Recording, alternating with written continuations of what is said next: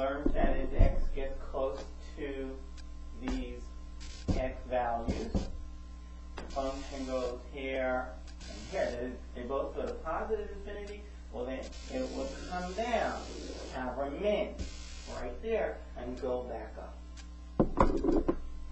The two other cases would be if one's at positive infinity, approaching positive infinity, and the other one approaching negative infinity. Positive infinity, negative infinity.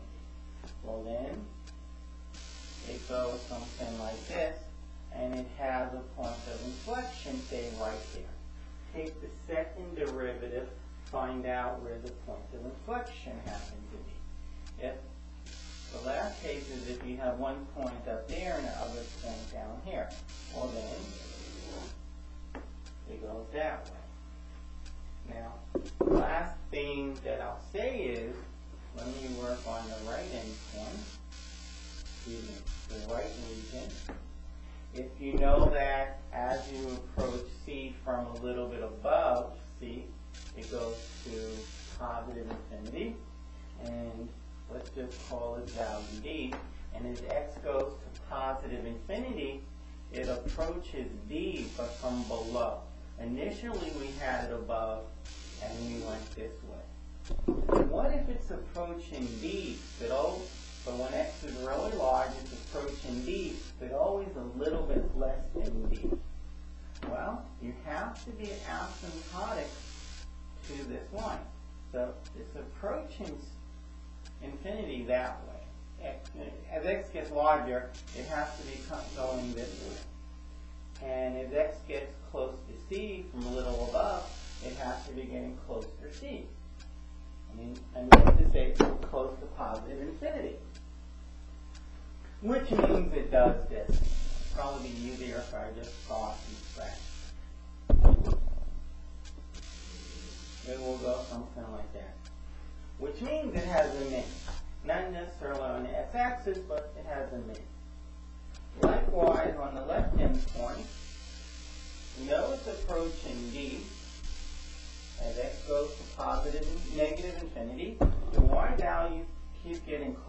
D. But let's suppose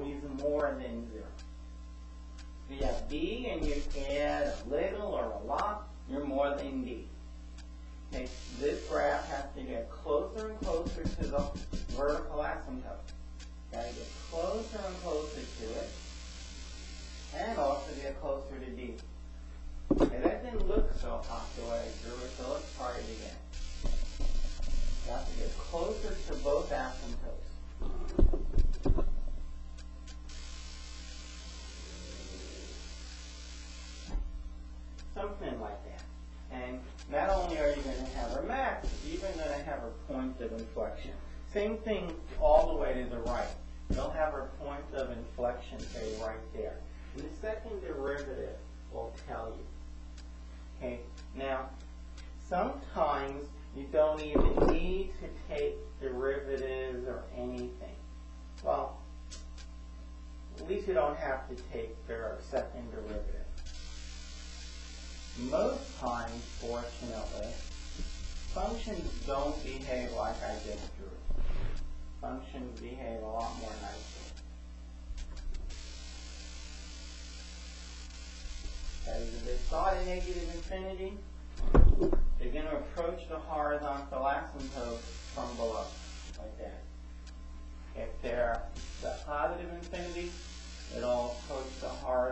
horizontal asymptote from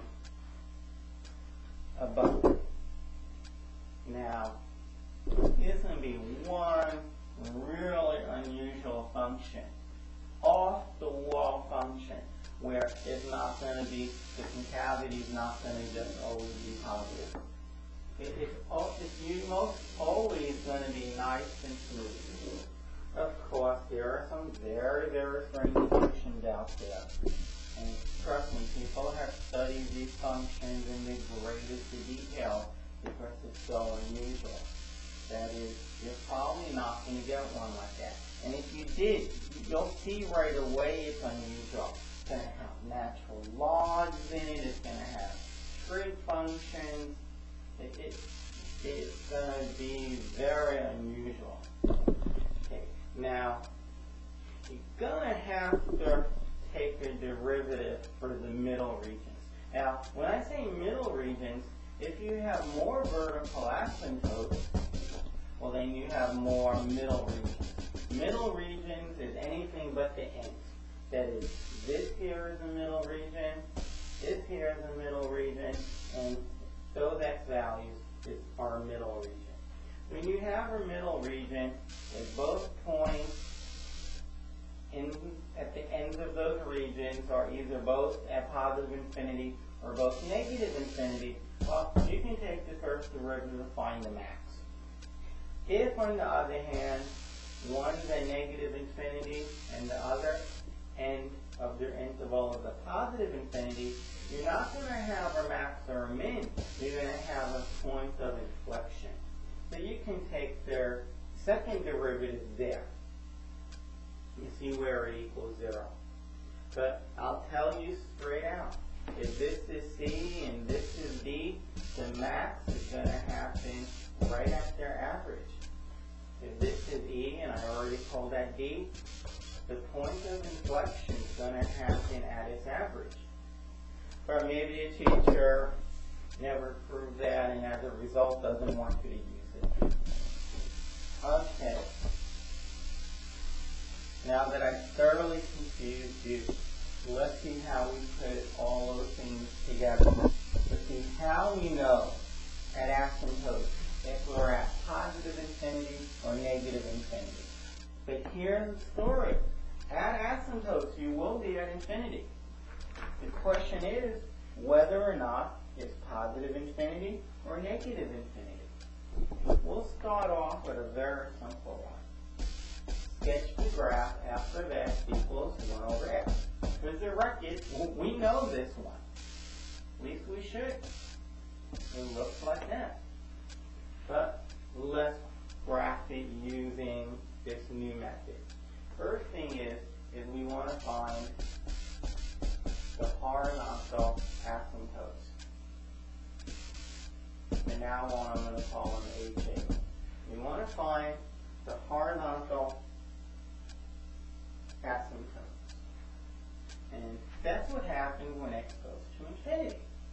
Well, the limit as x goes to infinity of 1 over x is, is 0. But always a little bit more. Always a little bit more. Because if x is positive, the numerator is positive, and x is going to positive infinity, it's positive, it's always a little bit more. And the limit as x goes to negative infinity of 1 over x, well, the denominator is getting bigger and bigger and bigger. It's going to 0. But the numerator is positive, and the denominator is negative. Positive over negative is always negative. If x is really, really large but negative, negative 50 billion, 1 is positive, negative 50 billion is negative. It's really close to 0 try taking a pizza pie and breaking it up into 50 million pieces. I mean, the slices are going to be zero. It's like, don't even bother. If you're inviting 50 million people to an event, do not come with one pie for everyone. Might as well come with nothing. It's the same. Okay, so we have that. Okay, now, I wrote it out nice and big, but in upper corner I want to keep record. Smaller record. As x goes to infinity, y goes to 0 plus. As x goes to negative infinity, y goes to 0 minus. Those are information about the horizontal asymptotes. You have a vertical asymptote better known as VA, vertical asymptote, when the denominator is 0 and the numerator is not. Well, the denominator is 0 when x is 0. But the numerator is never 0. So when x is 0, the numerator is, like always, 1. When x is 50, the numerator is 1. Okay, so now whenever you have a vertical asymptote, you have to look at the limit as x goes to that number, but a little bit less. x goes in this case to 0, a little bit less. And as x goes to 0, but a little bit more of the function. Well, you have 1 and you're dividing it by a number very close to 0. You have 1 and you're dividing it by 1 over it's very, very, very small number. A very big number. What is it? One million. So you're dividing one, that one, by one millionth. Well, the rule for dividing, if either the top or the bottom or both are fractions, is to keep the numerator. I did that. Change division to multiplication. I did that. And flip over the bottom number. Well, dividing by 1 you don't have to do. Nonetheless, this is large. I mean, it's 1 million. If I made the denominator even smaller by doing 1 over an even larger number, well then, I will get an even larger number. And if I let the denominator get smaller by making it by making by dividing 1 by even a larger number, and insanely large number, 1 divided by 10 to the 50 billion. Well, you're going to get a really, really large number. Okay? It is, it's going to infinity. The, in both cases, the question, so what I want you to learn is 1 over very, very small is very large. It's very large. Take your calculator and convince that of yourself. Take 1 and divide it by 0.0000003124. It's going to be infinity. Your calculator might give you an error saying it can't compute such a large number. Okay. Now the question is back here now. You know the answers at, at vertical asymptotes are infinity. Is it positive or negative? Well, the numerator is always positive, and the denominator, well, is always going to be negative. X is approaching zero. There's always a little bit less. A positive over a negative is negative. As x approaches zero, but a little more. Well, 1 is always positive, and x is always positive. It's a little bit more than 0. It's positive. It's approaching positive infinity. So let me erase an awful lot of this. Let me put down the information that we just obtained. And then we'll set up the graph and then we'll graph it. We just learned that if x goes to 0 minus, y goes to negative infinity. And we also learned that x goes to 0 plus, y goes to positive infinity. You don't need to rewrite what I'm writing in the top right-hand corner. It's just that as you see, my board space is complete. I have no more space. So I wrote everything big and then I put it in the upper right-hand corner smaller. Okay, the next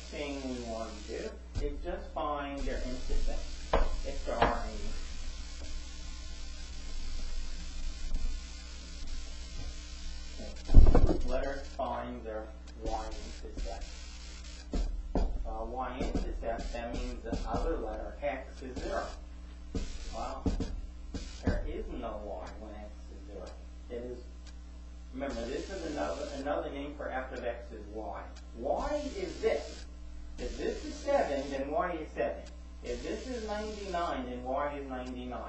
y equals whatever this is. For when x is 0, you get 1 over 0, which is garbage.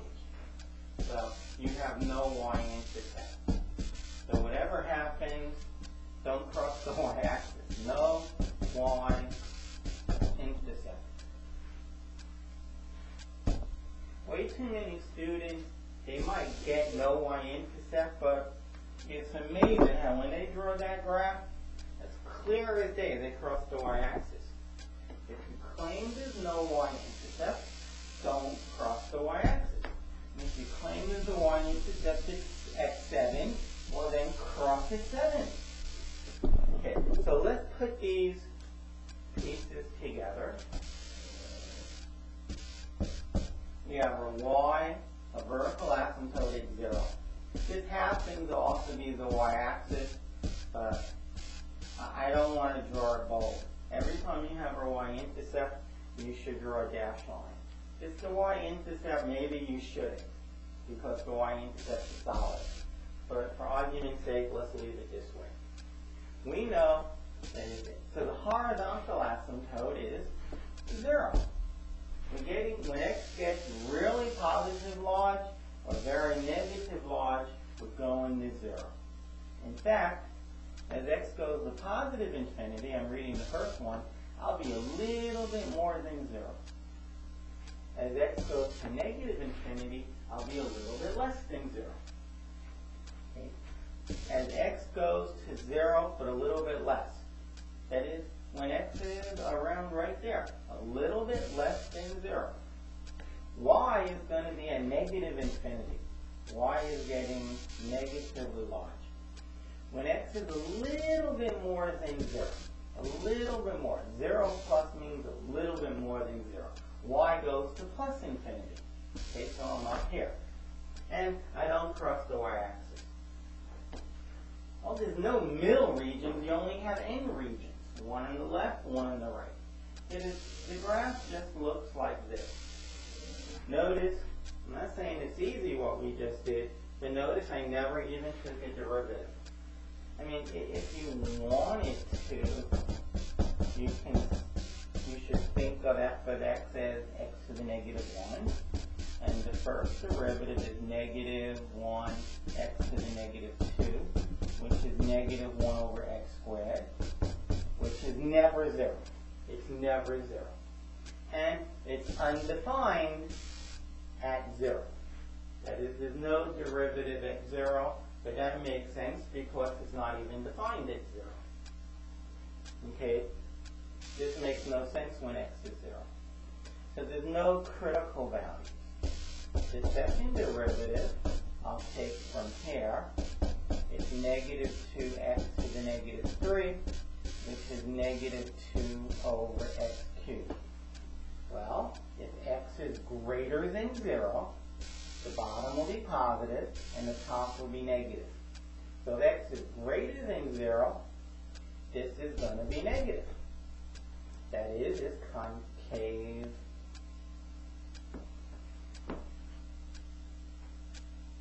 concave up. Hmm.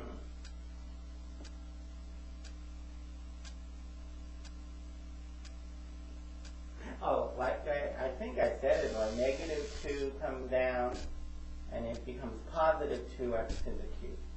Neg positive 2 over x cubed. Well, the numerator is positive. Denominator, if x is bigger than 0, is positive.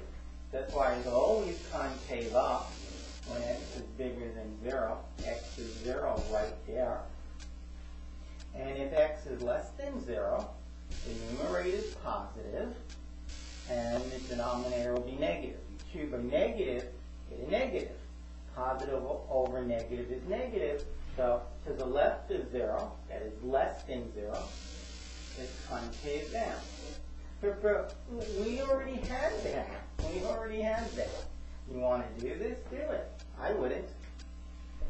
Teach him I want you to. Personally, I would not as an instructor.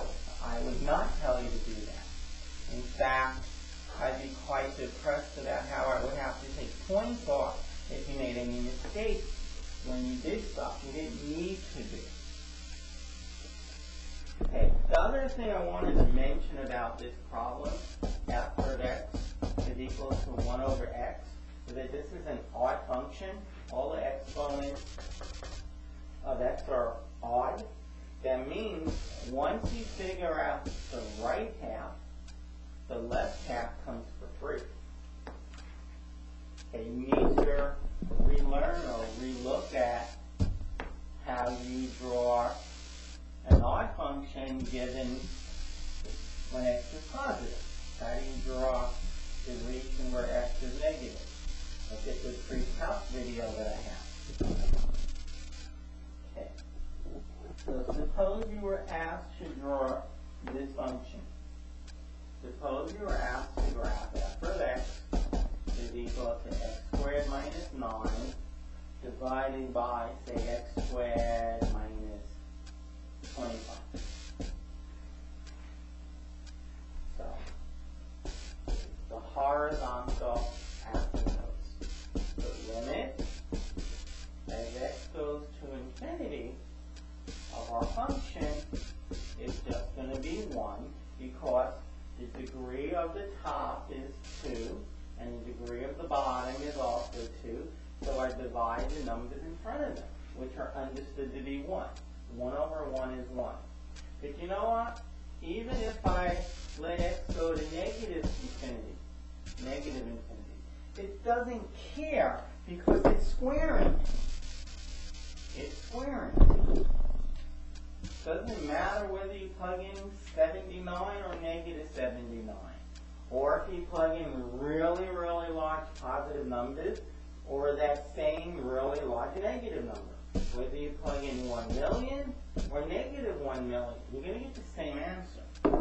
So it turns out that it's 1. The question is, will it be a little bit more than 1, or will it be a little bit less than 1? Now, to make life, oh, okay. So the question is, will it be more than 1 or less than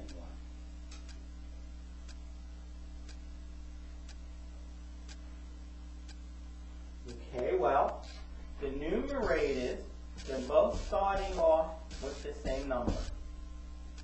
Okay, now remember, and we're talking about when x squared is really, really large. Really large. So the numerator is really large. It's you know, a really large number. And the bottom starts off with a really that same real large number. Right now, it equals 1. Well, how do you tell if a fraction is more than 1 or greater than 1? If the numerator and the denominator are, are positive. If x squared is really large, you only takes away 1, it'll still be positive. If x squared is really large, you only take away 25, it's still positive. The numerator will always be larger than the denominator. You have a really large number, and here's 0. You have a really large number, and in the top you just take away 9, and in the bottom you take away 25. The bottom is going to be closer to 0. That is, this will always be bigger than 1. It's always going to be more than 1. Why? Because the numerator is larger. Okay, taking away the 9 from their large number is going to become less and less significant as that number gets larger. For example, if somebody owes you $10, if they pay you 9 less, have a feeling you're going to complain. Somebody owes you $100, if they're $9 short, well, you'll be less pissed off. Getting $1 instead of 10 that's a big difference. But if somebody owes you this amount of money, okay, you know, billions and billions, but they shorted you $9, I have a feeling you're not going to say a word. You're just going to be the happiest person in the world. But you couldn't possibly spend this money. You couldn't possibly even tell me what that number is. So they short you nine dollars, you're not, you know, you're going to smile all the way to the bank because that nine becomes less and less significant. Okay. So here's one of those unusual cases hmm, where the limits, well, maybe not. So let me not say it. Okay, so we just found the horizontal asymptote. Now what we want to do is find the vertical asymptote. So it's probably best if we factor the denominator. The numerator is x squared minus 9, and the bottom is the difference of squares. x is being squared here, and 5 is, you can realize 25 is 5 being squared. So you write down x and 5 two times. Put a plus in between one and a minus in between the other. So the possible vertical asymptotes are plus or minus 5. Now if you plug in plus or minus 5 and put it in top, you're going to get 25. And when you take away 9, you won't get 0. 25 minus 25 is 0. 25 minus 9, whatever it is, 16, 98, doesn't matter, it's not 0. A vertical asymptote is a number that makes the bottom 0 but not the top. So we found our two vertical asymptotes. So now we have to look at the limit as x goes 5 from above. We have to look at the limit as x goes from 5 to below of our function And that took care of 5. We also have to look at the other vertical asymptote, negative 5. As x goes to negative 5 from above, what happens to y? And as x goes to negative 5 from below, what has happened to our y value, which is also known as f of x? Now, we know the answer is infinity. We need to decide if it's plus or minus infinity. That's the whole job now. Is it plus or minus infinity? And how we're going to tell is as follows. Uh, if x, so if x is anywhere near 5, we try to do all those, these two one step. If x is anywhere near 5, when you square it, you'll get near 25. And if you're anywhere near 25 and you take away 5, you'll be positive. Okay? Now let's look at the first factor in the bottom. x plus 5. If x is anywhere near 5, and you add 5, if x is anywhere near 5, and then you add 5, you'll get near 10. That's positive. If x is anywhere near 5, and then you take away 5, that's a problem. Because if you're more than 5, just a little more than 5, and you take away 5 will be positive. A little bit less than 5, you got $4.99, and you go and you spend $5, you take away $5. You owe somebody, you're negative. Okay, so when is x minus 5 greater than 0? When x is greater than 5, which is what the top one says. A little bit more than 5. A little bit more than 5. So that will be positive. And when you divide a positive by positive times a positive, you get positive. In this case, infinity.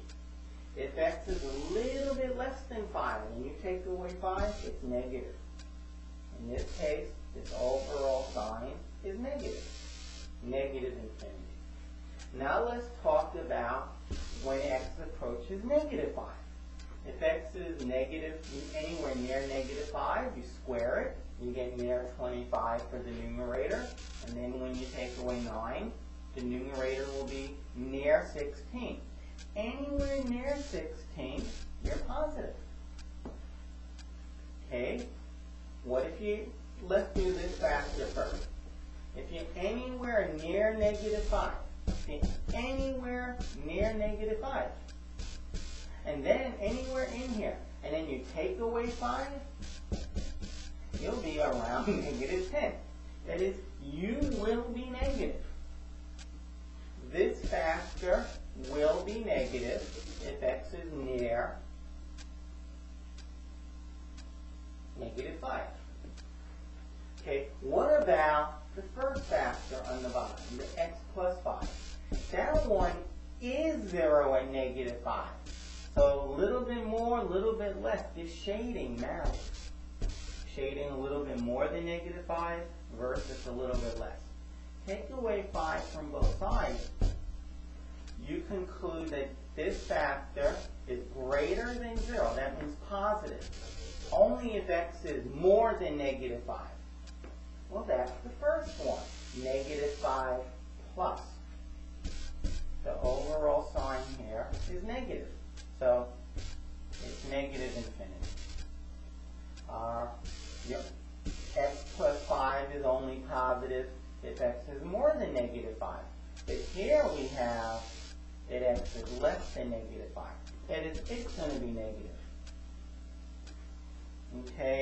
Bottom, you have a negative times a negative, which is a positive.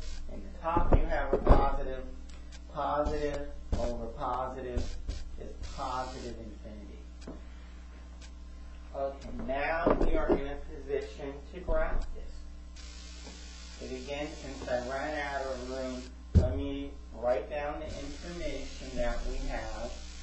Actually, let me just graph it here.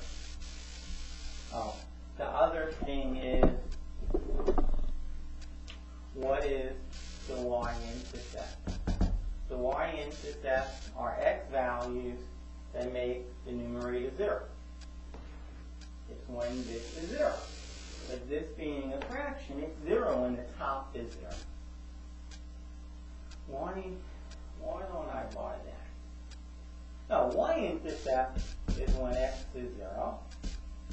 So y would be negative 9 over negative 25, which is 9 over 25. So we have the y-intercept. X-axis, y-axis. Uh, when x, the horizontal asymptotes are both, um, both being at positive infinity and negative infinity, they're both a little bit more than zero. So I do that. A little bit more than zero. And the vertical asymptote, so I took care of both of those pieces of information. The vertical asymptotes are at negative 5. So I'll call that negative 5 as well as positive 5. Okay. So now let's plug in the information about the vertical asymptotes. The first one, I'm a little bit more than 5, and I'm at positive infinity. A little bit more means to the right. To the right of the vertical asymptote, I'm at positive infinity. Okay? A, a little bit less than, a little bit to the left of 5, I'm at negative infinity. I'm down here. Okay, a little bit to the left of 5. 5 is right there. Okay, now we go on to the other vertical asymptote. I'm a little bit more than. That plus sign is important. That means to the right of negative 5. A little bit more than. I'm a little bit more than negative 5, I'm at negative infinity. That's what it tells me. If I'm a little bit less than, that's what this minus means. I'm a little bit less than, which means to the left of negative 5, a little bit to the left of negative 5. What do you know? I'm at, I'm at positive infinity. Okay, now I am ready to graph it. And this is what we, we reviewed initially. The left hand point goes like this. It keeps getting closer to the horizontal axis. Horizontal asymptote. It gets closer and closer to the vertical asymptote. It never touches. The right end point goes like that. It's closer to both of those, the vertical asymptote, that is this dashed line up here, this graph is going to get closer and closer to it, and it gets closer and closer to the horizontal asymptote. Okay, and we have to cross at not the y-axis and 9 over 25, which is less than 1.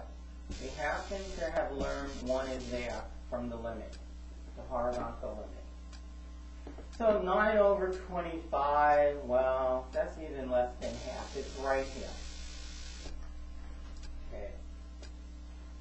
And like I said, so it's going to go something like this. The question is, where's the high point? And like I said, it's going to be between negative 5 and 5, which is 0. What's in between negative 5 and 5? 0. So it turned out that y-intercept was the max. But if you need to calculate that, well, you need to calculate it. Let's do that. Let's take the first derivative and see where it's a max. Our graph is correct, there's only one max. Alright, so since it's a fraction, we use the fraction rule, the quotient rule. It's a, so I'm looking at f of x. It's the derivative of the top times the bottom. Minus just the top times the derivative of the bottom, which is 2x. And all of this gets divided by the bottom all squared. The bottom is going to be 0, making the derivative undefined at plus and minus 5. But the function is not defined there. They were vertical asymptotes. Okay, so here we have 2x cubed. And here, we're going to take away 2x cubed. So that cancels out. And you're going to have minus 50x. And why don't we just do it? We have 2x cubed minus 50x minus, distribute the 2x. We get 2x cubed minus 18x. Oh, 2x cubed and 2x cubed under subtraction way by to them. Negative 50x minus negative 18x, well that's minus 32x over x squared minus 25 squared. This is 0 when x is 0. That fraction is 0 when the top is 0. Well, 30, negative 32 times some number is 0. That number, which we happen to be calling x, is 0. That is, we have our critical point at zero. There it is. Okay, so if you want to use the calculus to verify it, there it is. Okay. These are long problems, which in a way is good because give you more than one of these on the test. So we shouldn't. And they can't be the hardest ones. That is, you won't have five vertical asymptotes because, you know, when you give an exam, you should just find out if the students know how to do it. If you know how to do what I just did for two vertical asymptotes, well, then you can do it for five. For why the student's time? Okay. Now, how about you have a problem like this?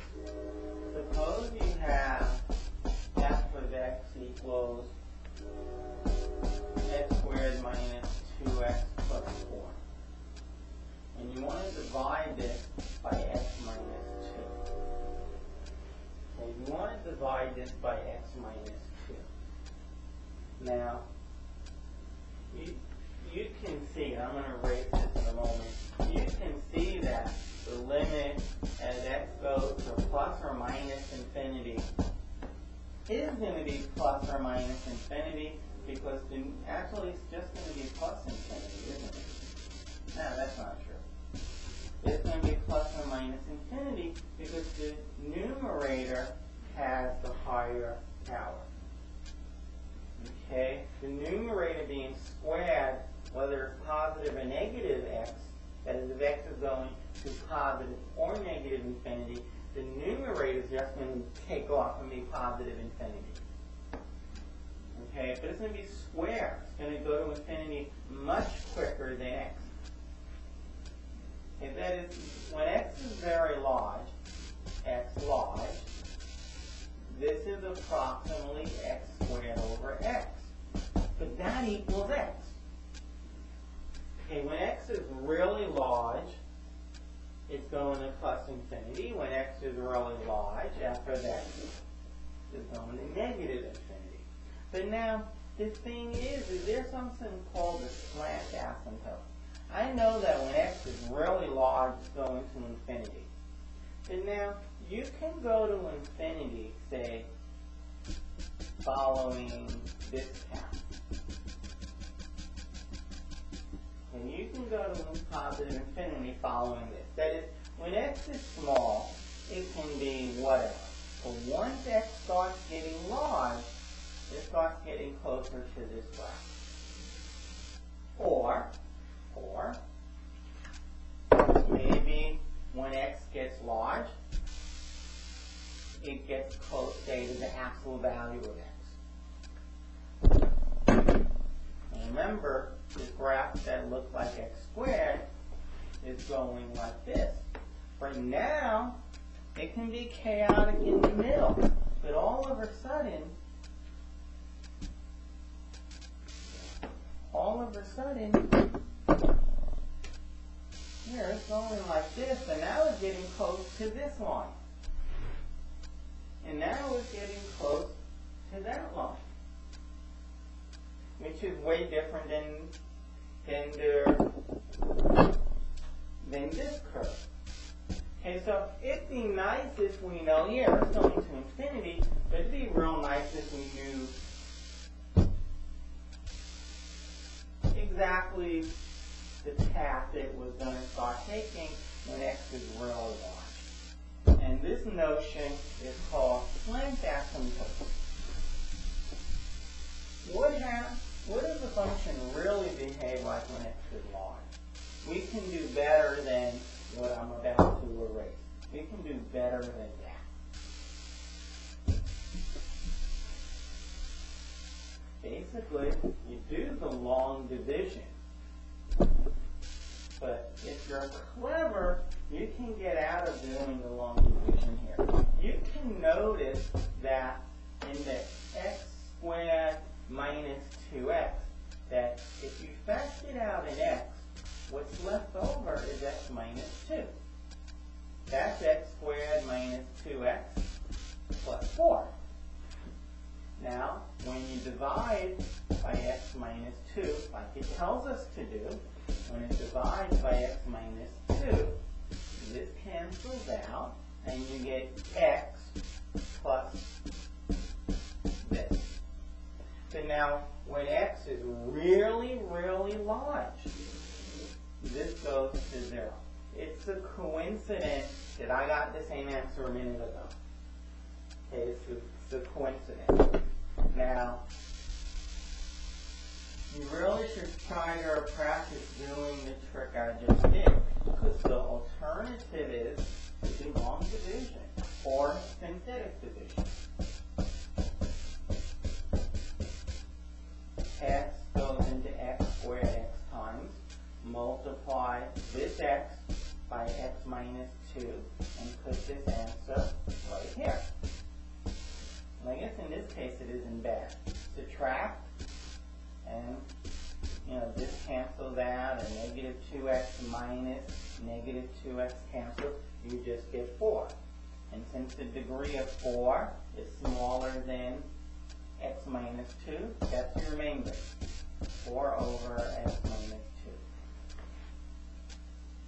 So in fact, this function is exactly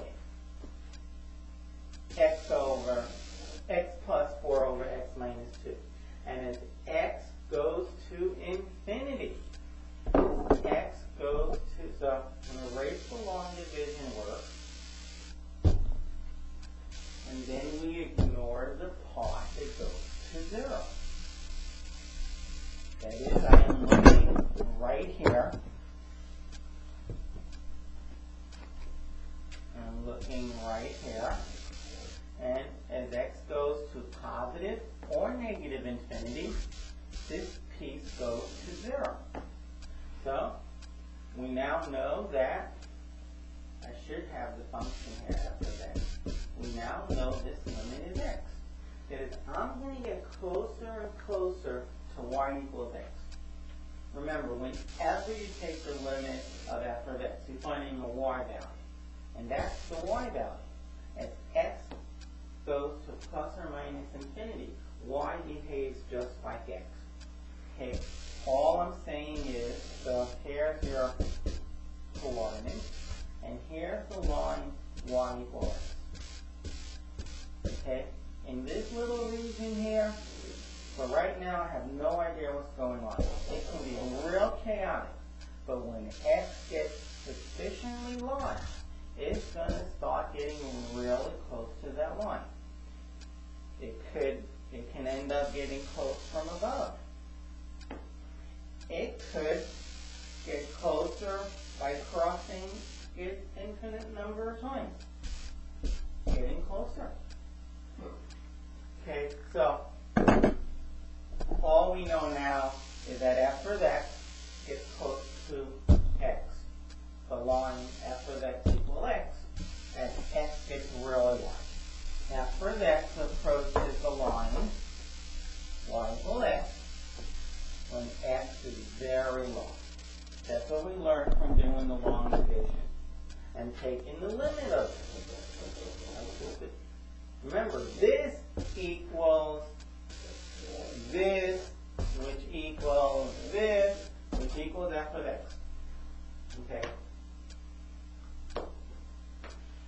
So we didn't just want to know if the limit's infinity or not. We want to know what the function was. When x is really, really large, if x is 100 million, 100 million plus 4 over 100 million minus 2. You know what that equals? That equals 100 million. Okay? At least it's really, really close. Because this number is so small. And I know I only wrote 100,000. Okay? If there's three more zeros for the 100 million. Okay, sorry about that. Okay, this is approximately zero. So you get what x is. X is 100 million, that's what f of x is. So somebody asks you, what is f of, you know, 3 trillion. You can say, oh, it's around 3 trillion. If it turned out that this wasn't X, but it was 2X, then you would say it's 6 trillion. All right, so I hope that went over well. But nonetheless, this required not 10 minutes of studying.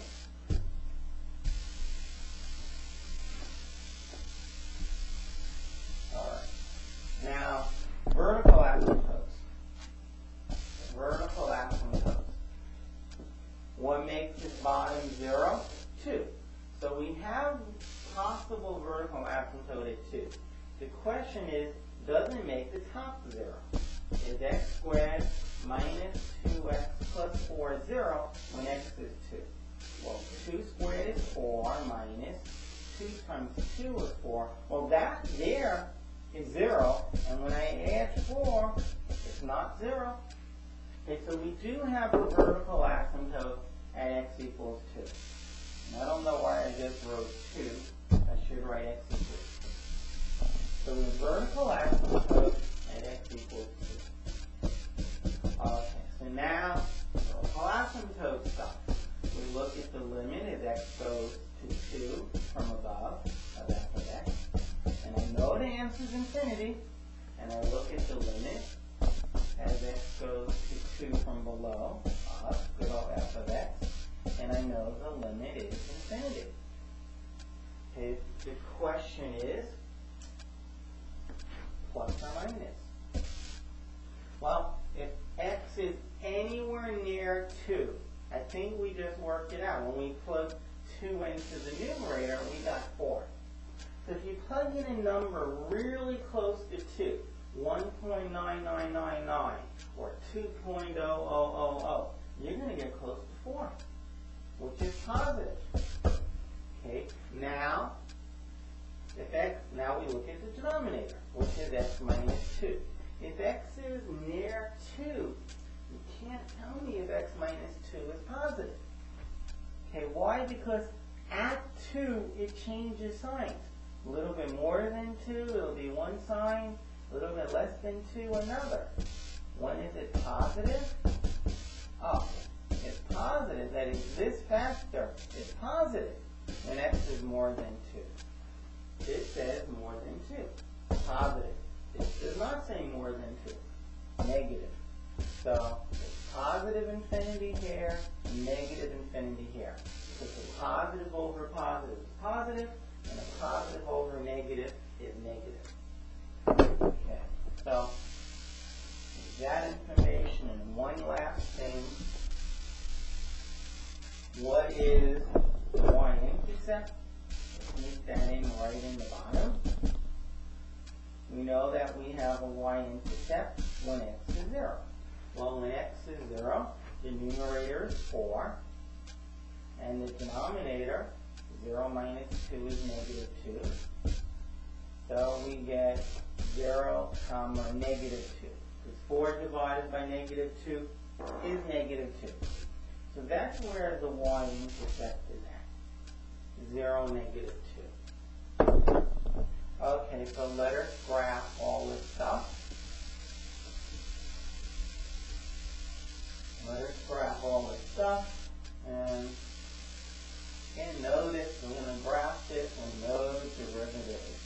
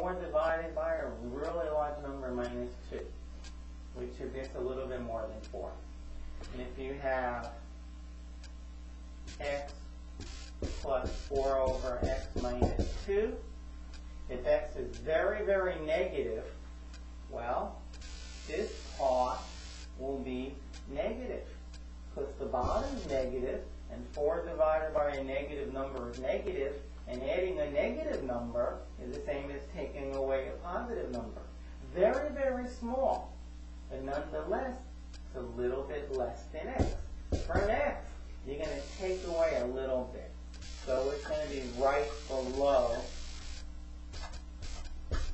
y equal x. But nonetheless, the on code is just that. The limit is just that. Okay, now let's see what happens. So we just dealt with horizontal asymptote. Uh, for some reason, I'll deal now with the fact that we cross the y-axis at negative 2. Now, so I dealt with the slant asymptote, I dealt with the y-intercept, now vertical asymptotes. If I'm a little bit more than 2, I go to plus infinity. A little bit more than 2, I'm at positive infinity. As opposed to negative infinity, which is down by x. Next one, we did this one. Next one. From a little bit to the left of, a little bit less than 2, a little bit to the left of 2, negative infinity. To the left of 2, and then negative infinity. Okay? So now I have to go from here to here. There it is. I have to go from here to here, but cross that point. Okay? Now, it turns out that in both of these graphs, we do have a min value. it's not necessarily right where the y-intercept is.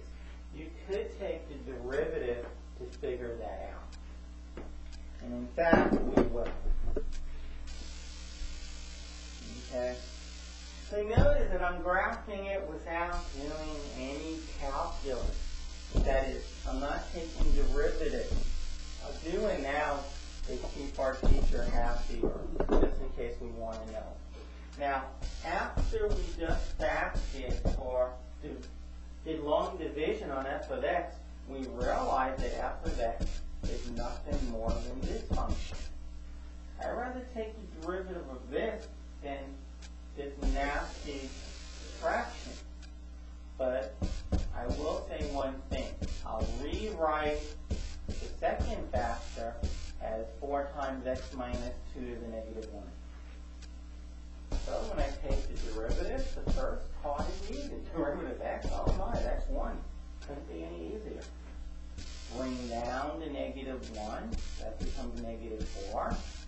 Make the new power 1 less, negative 2. Take the derivative of what's in there, which is 1. So I get 1 minus 4 times 1 is 4. And since this is a negative exponent, I'll put it in the denominator. Okay. Now the question is, is when does this equal 0? Well, if you have 1 and you take this messy looking part away and you get 0, oh, that messy looking part is 1. That part must be 1. 4 over x minus 2 squared must be 1. 1 minus, and all I'm using is the fact that 1 minus 1 is 0. 1 minus 1 is 0. So the messy looking part, it must be 1. Okay? I can deal with that. So then, 4 over something, namely x minus 2 squared, is 1. Ooh, ooh, that's 4. 4 over 4 is 1. 4 over 4 is 1. So the denominator, something squared, is 4. Well, what do you square to get 4? 2 or negative 2. So x minus 2 can equal plus or minus 2. Add 2 to both sides. x is 2. That is 2 that I just added over, plus or minus 2. Well, 2 plus 2 is 4, and 2 minus 2 is 0. So, you just learned something. The min value over here happen when x is 4. The max value happens coincidentally at 0, when x is 0. Now, if you want to find the max, well, I meant to say the min, put 4 in. I think the function was x plus 4 over x minus 2. Well, if x is 4, this will be 2. Because 4 minus 2 is 2, and 4 over 2 is 2. So, it's 4 plus 2 or 6. This y value is 6. The y value for this max here, we happen to already have found earlier. is negative 2. Okay.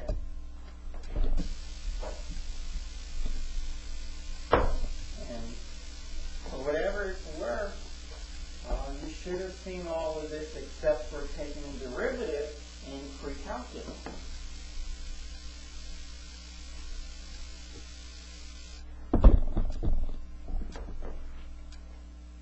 Let's see if we should bother to do another one.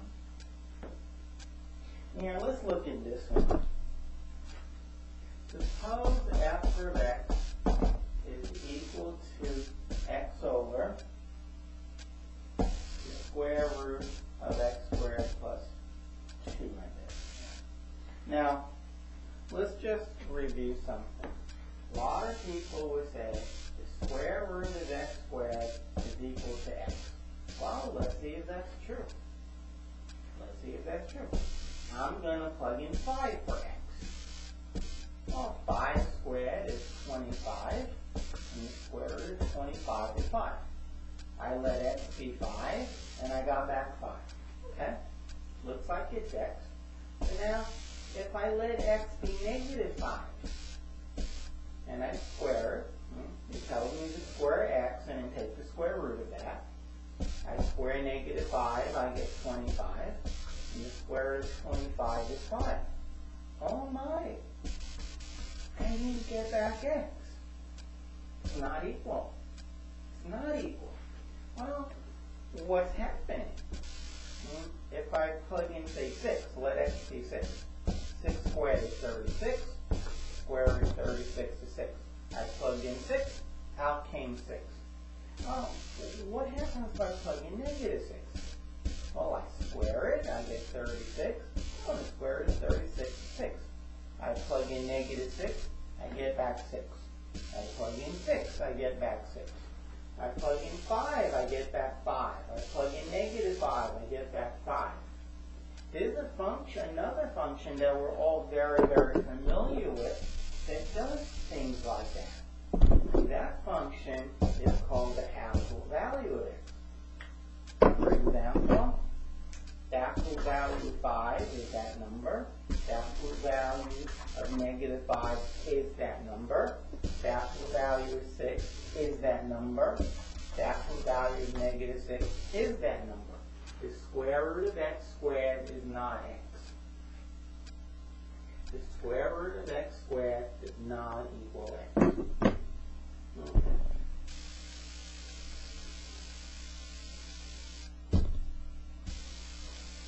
So we need to somewhat understand that for when we take our limits at infinity. That is when we look at horizontal asymptotes. And so that's the first step, is we want to look to see what happens as x goes to, say, infinity. And let's now, when x is really, really big, you can ignore the plus 2. When x is really big, you can ignore the plus 2. And then you get x over the square root of x squared, which is x over the actual value since x is always positive, the actual value of x is positive. x. The actual value of x is x. So this just goes to 1. x over x is 1. Now, let's see what happens when x goes to negative infinity of x of x. Okay, well, when x is really big, even negative, and you square it, it's so, so big. Adding 2 doesn't mean anything. You get x over the square root of x squared. But we just talked about that.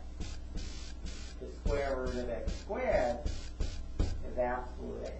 But when x is negative, the absolute value of a negative number, the absolute value of negative 7, is that same number with the minus in front. Fine, it's 7. But it's also that same number with a minus sign in front. The absolute value of negative 13 is negative 13 with a minus in front. That, now I'm telling you x is negative. I'm going to negative infinity. The absolute value of this negative number is that same number with a minus sign in front. Well, x divided by negative x is always negative 1. x divided by negative x. x is understood to be positive. Positive over negative is negative, as long as x is not 0. And my goodness, it's nowhere near 0, near negative infinity. You get 1. You divide the same two numbers, you get 1. That's why the horizontal limit at negative infinity is negative 1.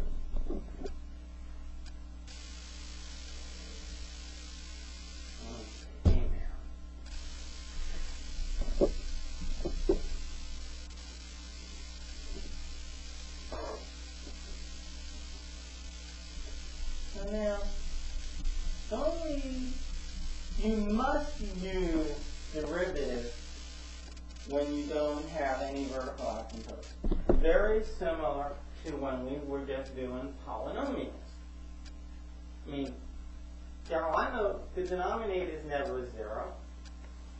The denominator is never zero because if the square root of something was zero, then that something itself had to be zero. So x squared is always zero or more. And when you add two, it's either two or more. x squared is always zero or more. I mean, x can either be one of three numbers. It can be a negative number, it can be zero, or it can be positive. You square negatives, you get positive.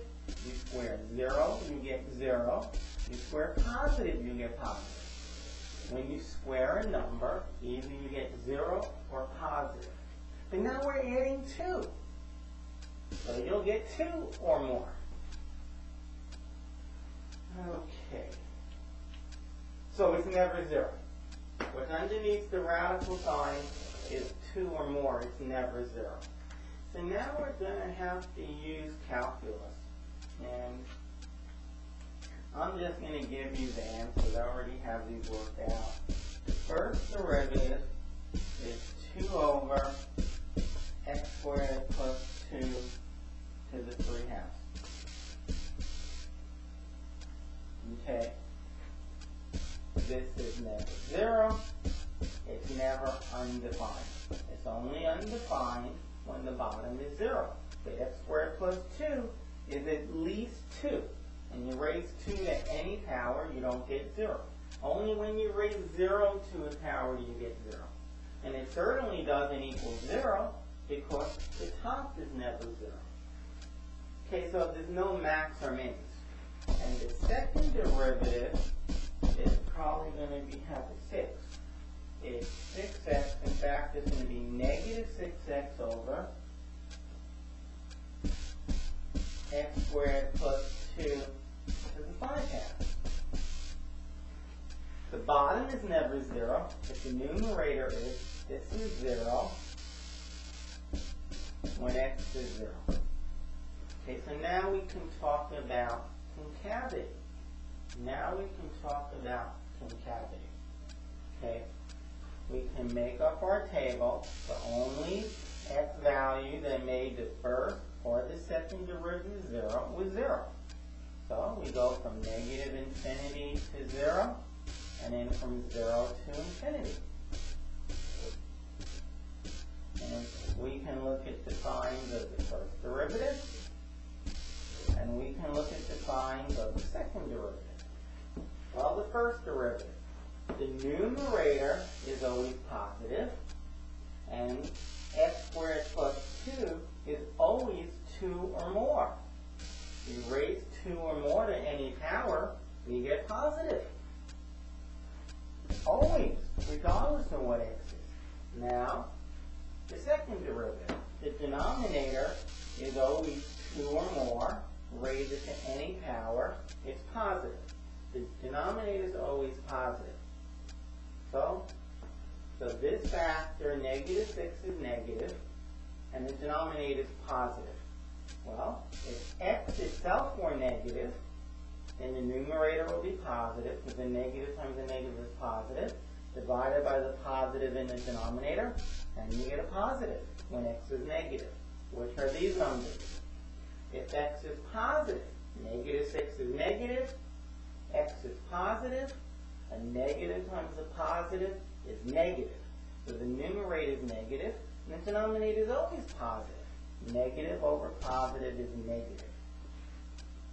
Okay. So, with that table over here, with this table here, and knowing that the right horizontal asymptote is 1 and the left is negative 1, and finding out the y-intercept, we will be able to graph this. Will be able to graph it with that information.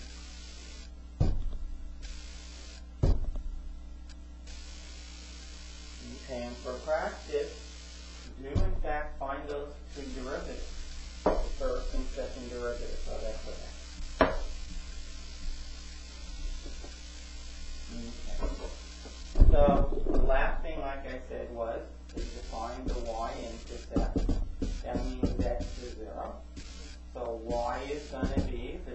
Is 0. And the bottom, under the radical, is at least 2 2 or more. In fact, it is 2. 0 over square root of 2 is 0. So the y-intercept is at 0, 0. Okay. So we'll live up to that. The y-intercept is at the origin. I know that when x gets very large, it gets close to 1. In fact, since it's only when x is large, positive, we'll only draw it to the right corner. And when x is very negatively large, it gets closer to that line, y equal negative 1. And I know I crossed the origin. Now, I know that the slopes are always positive. So, it's somewhat going like this. But we need to put some more flavor in. We need to know our concavity. Well, to the left of zero is positive. Which goes like this. I didn't mean to start going up. We get closer and closer to the horizontal line. And then to the right of zero, the concavity is negative. So I go this way. There's your graph. There it is. Okay. Hours and hours of studying, folks. Good luck with it.